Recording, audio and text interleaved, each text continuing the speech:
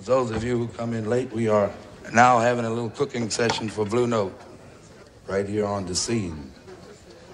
Putting the pot on in here. And we'd like for you to join in with us and have a ball.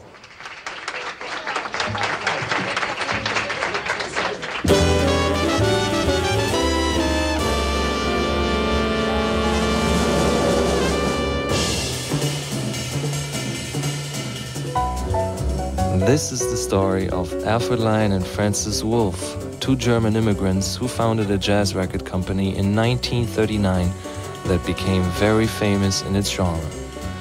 Unlike any other jazz label, Blue Note Records influenced the evolution of music in sound, style, and technical standards. Each of the Blue Note recording sessions was documented by the photographs of Francis Wolff.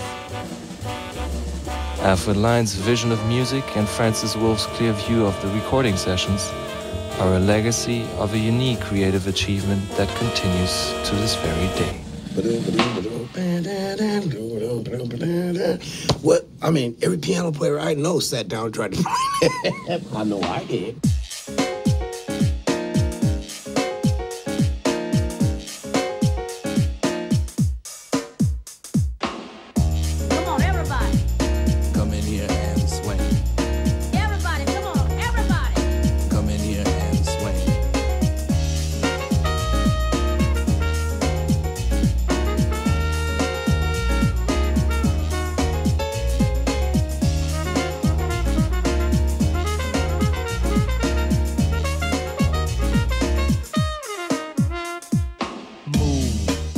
To a rhythm that's smooth. Made the groove, work that body, baby, it's a party. Shake it, funky, ain't it? Yeah, the long awaited return to fluent movement, enhanced music. Ain't nothing but the do it. Maneuver to a sound that's making you wanna dance to it.